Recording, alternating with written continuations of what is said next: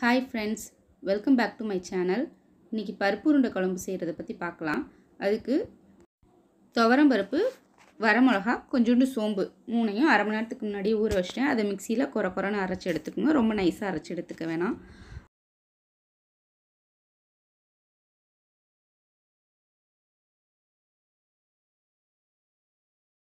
இப்போ ஒரு பெரிய வெங்காயம் ஒரு பச்சை மிளகா கொஞ்சம் மல்லித்தலை கொஞ்சம் கருவேப்பிலை. இது எல்லாத்தையுமே சாப் பண்ணி எடுத்துக்கலாம்.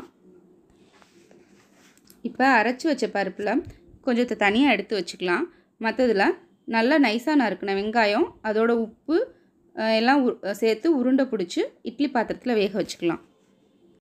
பருப்பு உருண்டை ரொம்ப நேரம் வேகணும்னு அவசியம் இல்லை. கொஞ்சம் நேரம் வெந்தாவே போதும். அது பக்கத்துலேயே ஒரு வானிலையில் தேவையான அளவு எண்ணெய் ஜீரகம் வெந்தயம் வெங்காயம் கருவேப்பிலை தக்காளி இதெல்லாம் போட்டு நல்லா வணக்கிக்கலாம்.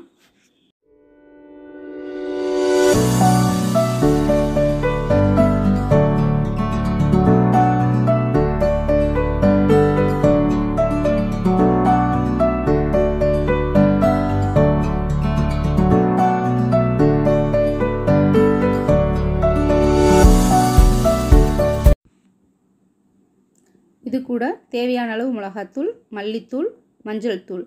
அப்புறம் உப்பு. இதெல்லாம் சேர்த்து நல்லா வதக்கி எடுத்துக்கலாம். எல்லாம் வதங்கினதுக்கப்புறம் கொஞ்சம் புளி ஊற வச்சுருப்போம்ல அது புளி கரைசல் எடுத்து இதில் ஆட் பண்ணிக்கலாம். இதுக்கப்புறம் புளி நல்லா கொதிச்சதுக்கப்புறம் நம்ம பாதி எடுத்து வச்சுருந்த பருப்பு அரைச்ச பருப்பு இருக்குது பார்த்தீங்களா அதை கொஞ்சம் இதில் போட்டு மிக்ஸ் பண்ணிக்கலாம். ஸோ அப்போ வந்துட்டு நம்மளுக்கு குழம்பு கொஞ்சம் திக்காக கிடைக்கும். அதுக்கப்புறம் வேக வச்சுருக்க பருப்பு உருண்டைகளையும் இதில் ஆட் பண்ணி பருப்பு உருண்டை குழம்பு ரெடி பண்ணிடலாம்.